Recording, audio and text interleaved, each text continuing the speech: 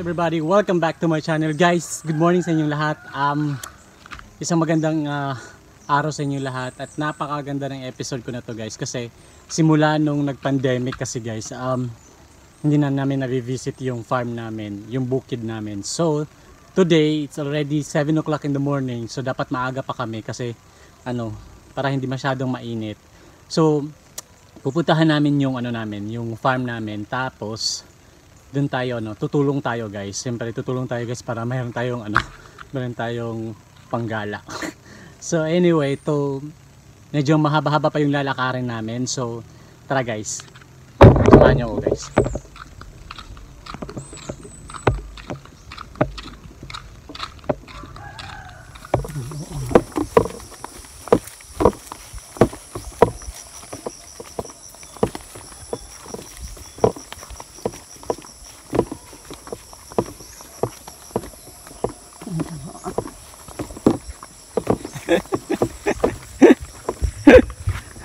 So yun guys, um, papasok na kami dun sa ano, sa bukid namin. Pero may nakita ako guys. So naalala ko guys, nung kabataan namin, nag-challenge kami na ano, apakan yung yung dumi ng ano, challenge, yung mga ganito guys. Dati naalala ko talaga yung ano, inapakan ko yan guys. Tapos, ah, alam mo yung ginawa ko, pinaid ko dun sa mga ano ko, sa mga kalaro ko dati. Tapos, ayun, tapos takbuhan kami guys. Kaya lagi naaalala ko yan pag nakaka- nakakakita ako ng ganyan guys. Talaga naaalala ko yung kabataan ko na talagang nakakatuwa. Yun yung mga laro namin dati guys. So, ayan na, nauna na, yat, nauna na si mama. Nauna na si mama kaya kailangan nating magmadali. So, siguro mga ano na lang guys, mga 5 minutes na lang nasa bukid na kami.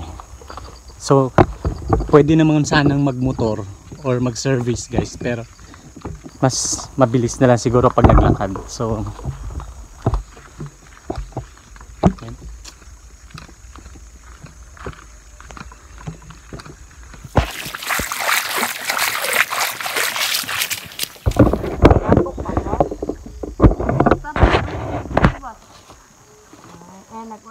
guys, andito yung mga kapitbahay namin. Tapos, naalala ko lang guys, yung kabataan. May papel ka gong?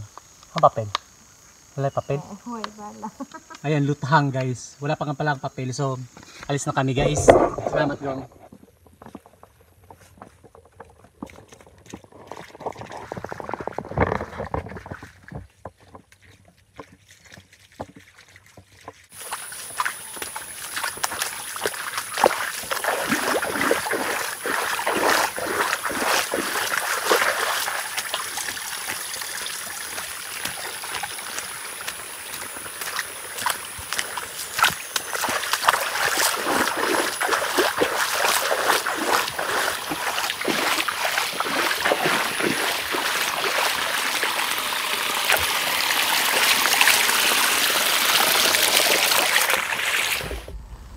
So guys, nandito na kami sa ano namin. Sa bukid namin. So, ayan yung kape namin. Kape ba yan ma? Kakao. Ah, yan, kakao. Yan. Yan yung mga kakao namin. So, yan guys. Kararating lang namin.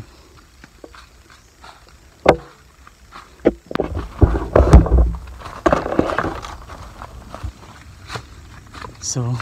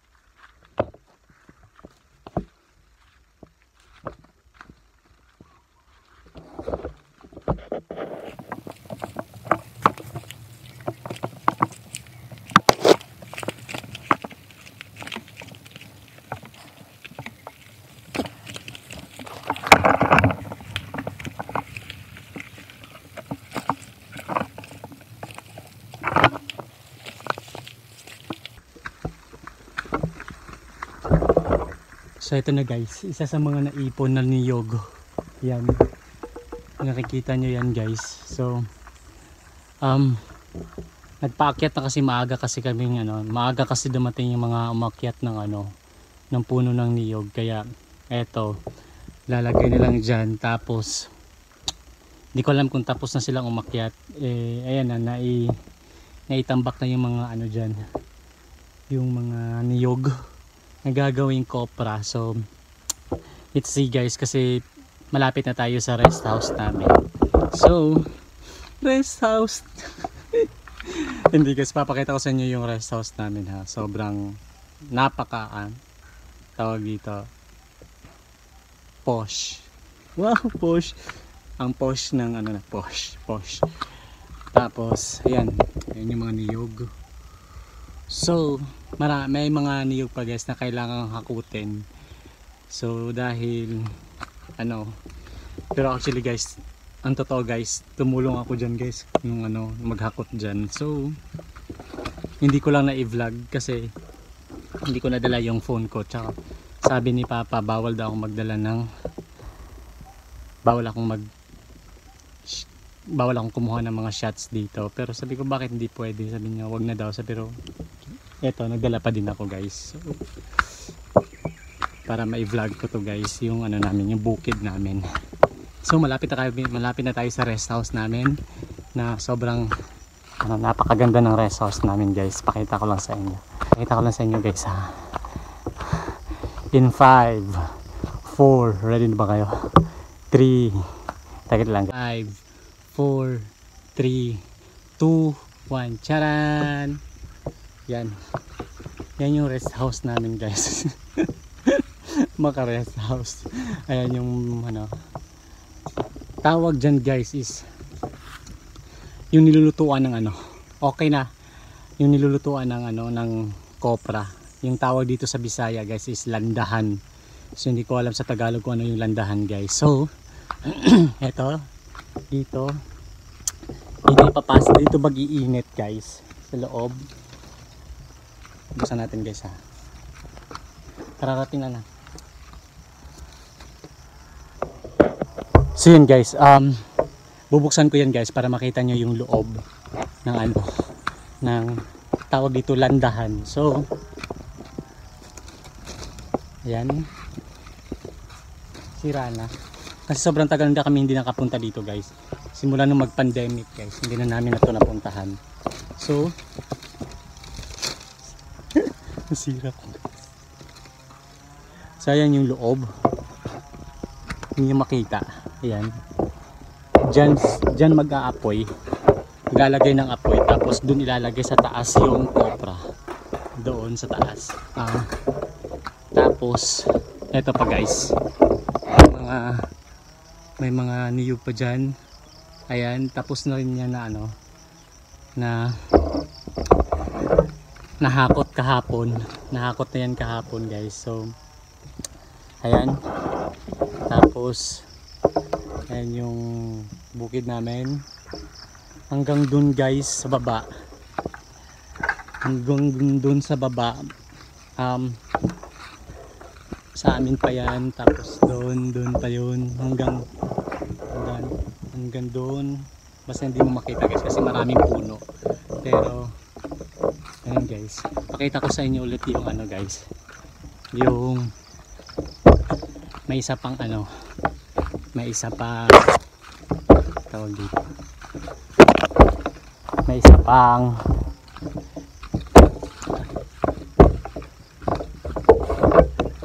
meron pang isang so guys sobrang daming santol dati ayan o oh, daming santol guys. Hindi na, na nakakain yung santol namin. Tapos ayan. Nabubulok na yung mga santol. Tapos ayan. May lansones kami doon sa kabila pero medyo matarik na yun doon guys. So dito tayo guys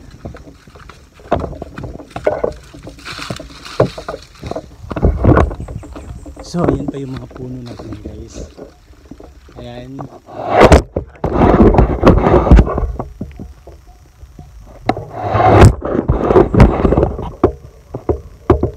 May pum ano, pumapasok sa mata yan. Yung mga puno ng niyog namin. Tapos ayan.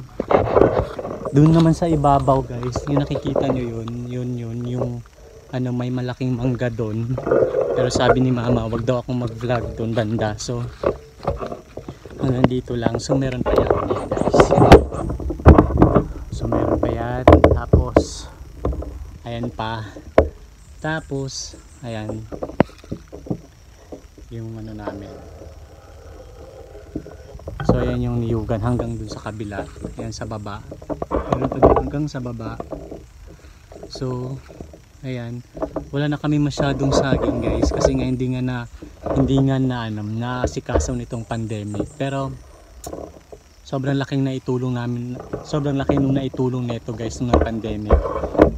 Sobra. Um, kawawa naman yung Leo guys. So, hindi na nakaano. So, ayun guys. Um, ngayon, gagawin natin. Gusto kong umakyat doon sa taas pero pinagbawalan kasi ako ni mama doon.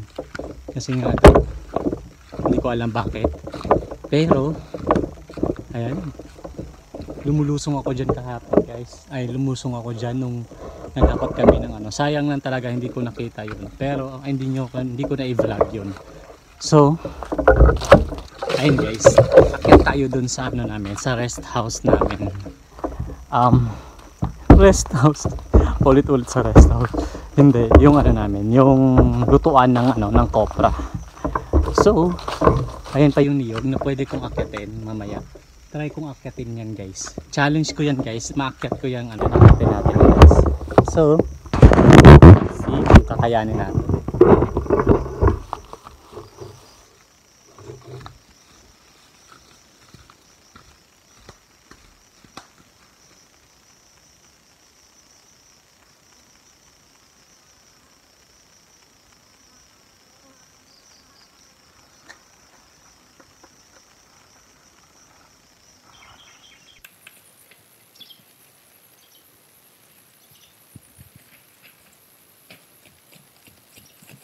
Guys naakyat natin yung ano niyog na yan. Pero maliit lang talaga yan guys. Sobrang napakaiksi lang ayan o siguro mga dalawang ano lang.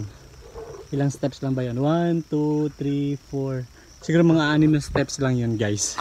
Kaya maliit lang yan. Meron pa dito guys. Ayan. maliit lang din yan. Yan halos parang abot ko na yan guys. Ayan o yan o konti-konti na lang. Yan so maiksi lang to guys. Kaya pwedeng abutin. And so ayan na guys. Dito na kami sa ano. So, pakita ko lang sa inyo guys yung ano yung-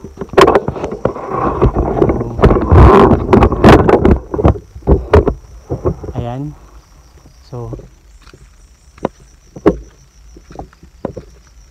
tingnan natin yun pakita ko lang sa inyo yung taas kasi para makita nyo yung ano yung mga sala set namin yung mga furniture namin yung mga mga mamahalin naming gamit na sa taas kasi nito guys so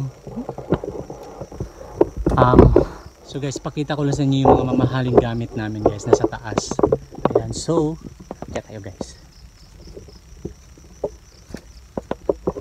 Charan! Andyan yung mga mamahalin namin gamit guys. Ayan. Ayun yung loob guys. Ba, di ba dito ilalagay yung ano? Diri, diri ibutang ang mga lube. So dito ilalagay yung mga ano guys, yung mga niyog na yun. Yun, yun. Pag na ano na, pag na nabalatan na sila, dito ilalagay sa taas. Tapos paapuyin yung ilalim nito para matuyo ka agad para ma ano maibenta ka agad. So, hindi mo na kailangan magbilad pa sa araw kasi dati-dati kasi guys pag wala kami wala walang ganito nagbibinibilad pa namin dun sa ano sa araw yung mga niyog yan. So, marami mayroon pa daw dun sa taas guys. Tignan natin kung mapupuntahan natin. Puntahan natin yun guys para makita natin yung ano, yung dami ng niyog. So, dito ilalagay yun guys pag nabalatan na. Ayan. So, dami namin saging guys oh. Ayan. So, ayan yung taas. ito yung taas guys. So, dala ko pa yung bag ko. So, ayan na guys. So, pwede tayong ano. Ayan. So,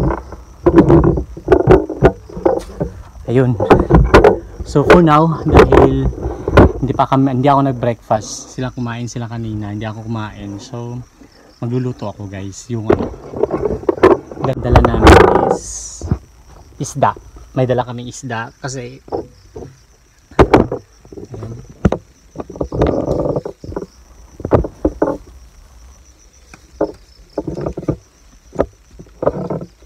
So, i iikot ko kayo sa rest house namin guys ha. Yan. So, ayan yung loob. Ayan. Ayan yung bahay niya, yung kabubu kabuuan niya. Ayan. So, dyan kami nagpapahinga pag ano. Actually guys, ngayon ko lang to nakita. Simula nga nung nag-pandemic, hindi na namin, hindi ko na nabisita to. So, hindi ko alam na meron na palang ganito. Ayan. Tapos, ayun guys. Meron ako ipapakita sa inyo mamaya na sobrang ano, na nakaka-amaze guys na na ma-amaze kayo guys kasi gawa talaga ng ano ng kalikasan. So, I'm lucky na ano na naabutan ko pa to guys kasi nung ano nung bata pa kami parang hindi naman masyadong ano pero ngayon yung parang nakaka-amaze pala to guys. Kaya na naman ako sa amaze ko guys. So, para pakita ko sa inyo guys, um, saan ba yung daan?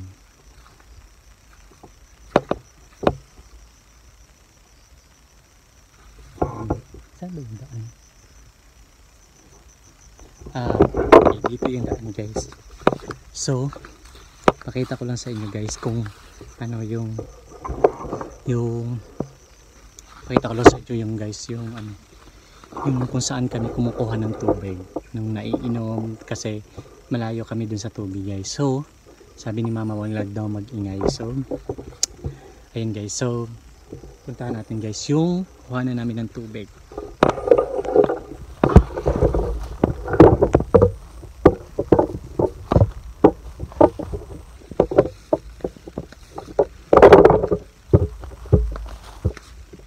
Tabi-tabi po tabi buyag. So guys tabi buyag. Tabi tabi. So yun guys. Ayan. Ayan yung balon guys. Dyan kami kumukuha ng tubig na naiinom. Bata pa lang kami guys. Dito na talaga to. Sobrang tagal na nito guys. So sobrang linis niyan guys. Ayan. So Ayan, so pagkadating talaga dito guys, ang una talagang ginagawa nila mama at papa is nililinis talaga to guys. Sobrang inaalagaan nila yan guys. Ayan. Kasi dyan kami kumuha ng tubig. Naiinom, nilulu nagluluto. So, ayan guys. So guys, para maniwala kayo guys na naiinom talaga to dito guys. Um, iinom tayo guys.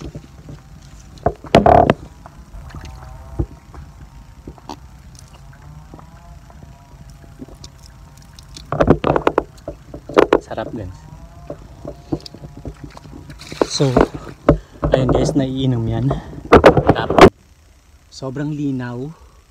Sobrang linaw niyan guys. At saka sobrang lamig. So, sobrang tagal na talaga niyan guys. Kasi, ilang tao na ba ang ano? Ilang taon na bang dumaan pero nandiyan pa rin siya. Ganyan pa rin siya kalinaw. So, hanggang dun guys, dun sa baba. Hanggang dun sa ah, ano sa amin pa yan dan dyan sa taas ayan so sobrang na-amaze lang ako dito guys. Yan. Sa ano na yan sa sa balon na yan. Yun. Ito. Saan ba yun? Ayan. Ayan. So sobrang na-amaze ako. Thank you sa ano thank you sa sa kalikasan na yan. So dahil may naiinom kaming tubig. Meron kami nakikita ano makukuha na ng tubig. So ayan sa taas medyo tago siya guys. So ayun. Ah, dito tayo guys. Balik tayo.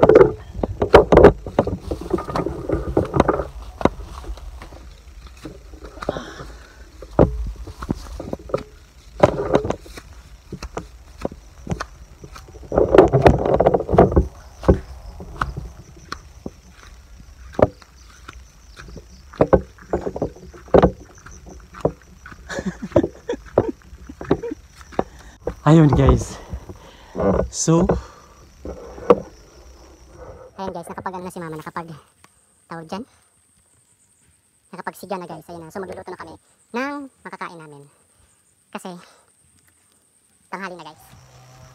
so guys, meron kaming dalang isda, tatlong isda. Pero dahil hindi naman ako kumakain ng paksiw, sabi ni mama, lutuin ko daw ng paksiw. So, luto tayo guys.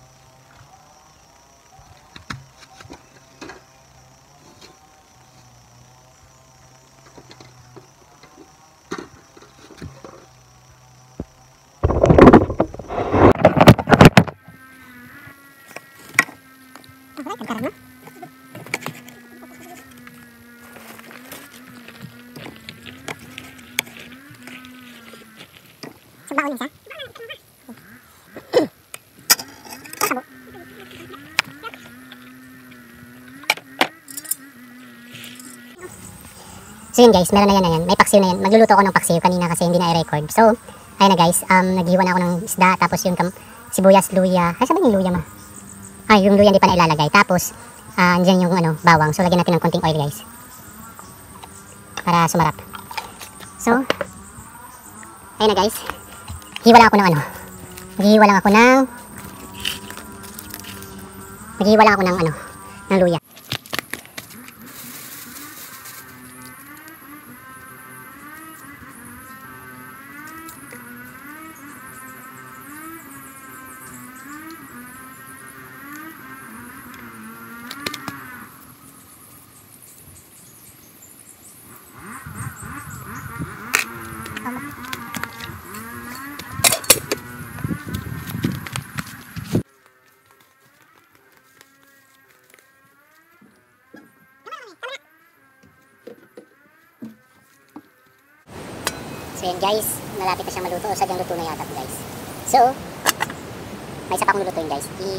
Iihawin ko yung isang ano, isang isang isda yan.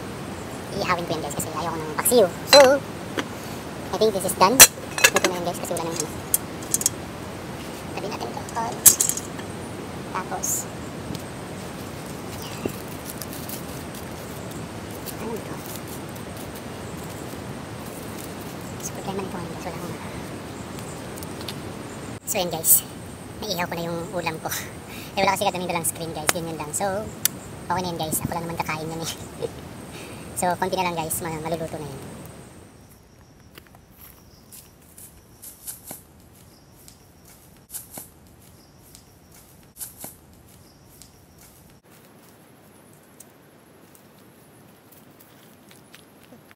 So guys, dahil tapos na kami tapos na ako magluto, ito na yung mga pagkain namin guys. Ayan.